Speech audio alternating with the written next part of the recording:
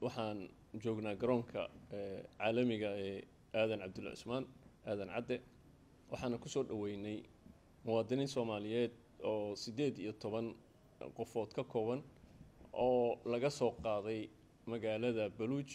ee waddanka koonfurta suudaan iyagoo ka soo baxay markii hore khartuum soona gaaray meeshaasi ama xuduudda magaaladaasi baluuj la yidhaahdo waxaan rabaa waxaa soo qaaday diyaarad ay leedahay ciidamada kenya oo muwaadiniin kenya ka qaadayay. Waxaan rabaa anoo ku hadlaya magaca dowladda soomaaliyeed inaan u mahad celiyo dowladda kenya. Gaar ahaan waxaan u mahad celinayaa wasiirka gaashaandhigga mudane aadan barre ducaale oo qeyb weyn ka qaatay. Waxaan rabaa sidoo kale inaan u mahad celiyo madaxweynaha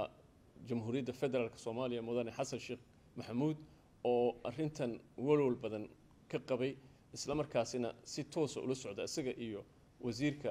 arrimaha dibadda ee mudane abshir cumar jaamac huruse oo isagoo xanuunsan ka shaqaynaya arrintan.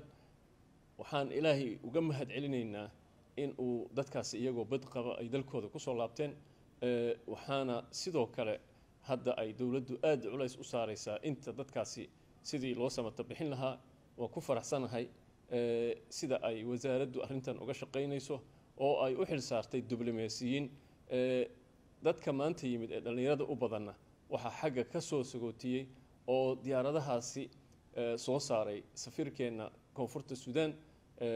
ambasador camey iyo counsilor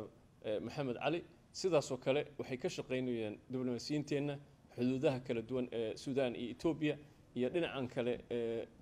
suudaan iyo south suudaan intaba ay ka shaqaynayaan? Iyagoo weliba haddana ka shaqaynayo safaaradda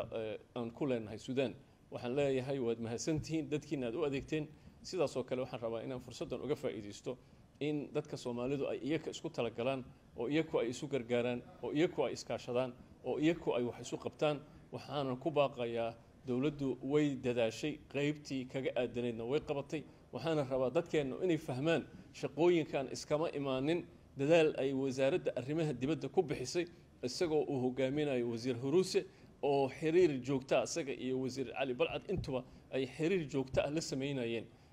dalalka kale oo etoobiya ay ka mid tahay suudaan ay ka mid tahay koonfurta suudaan ay ka mid tahay dal walba waxaa laga baryayay in dadka soomaalida la soo dhoweeyo in dadka soomaalida loo fududeeyo shaqadana weli waa socotaa shaqadu waa bilow laakiin waxaan ummadda soomaaliyeed ee ku nool koonfurta suudaan u ballanqaadaynaa ku nool suudaan aan u ballanqaadaynaa in dowladdu aanay waxba kala hagranayn oo ay taageeri doonto samata bixinta dadka soomaaliyeed meel kastoo ay joogaan. Waxaanan rajaynaynaa inay dareemaan dadku dowlad la'aan inaanu bini aadamku aanu jiri karin. Dowladdoodana ay ku mahadsan tahay oo ay uga magacisiiyaan uga mahad celiyaan dadaalka ay muujinayso dowladda. Waxyaabaha yaryarka ee jira oo ay ka mid tahay in aanay duruufo adag ay jiraan oo ay ka mid tahay xadadka in ay ka jiraan dad fara badan. Haddana waa loo gurmana ilaa shalay ilaa xalay waxaa laga shaqaynaya in dadka aan haysan dokumentiga ee ka soo baxay khartuum in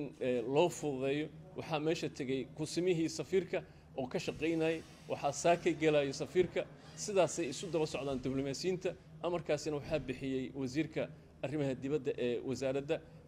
mudane abshir huruse sidaasoo kale madaxweynaha jamhuuriyadda federaalk oo isagana habeen iyo maalin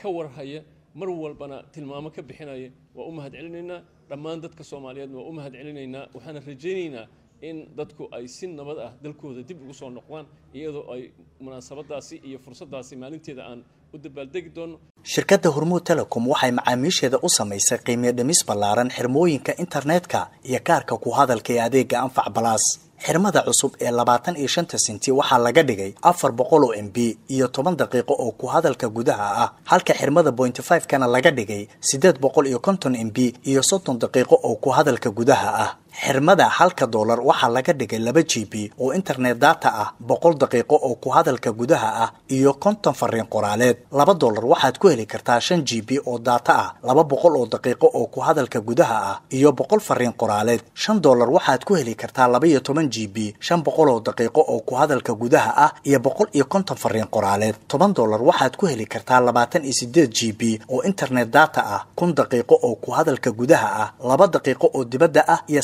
saddex boqol oo fariin qoraaleed ah ugu shubo e v c balaaskaaga xidig toddoba labaatan iyo afar xidig nambarka xidig lacagta afar gees ama kaarka ku hadalka xidig boqol labaatan iyo lix afar gees kadibna raac tilmaamaha